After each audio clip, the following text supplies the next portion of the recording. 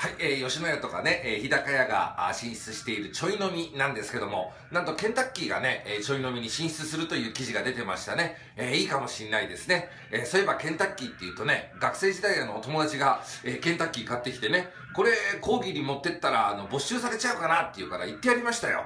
そら没収されんだろ。ケンタッキーだけに取り上げられるぜってね。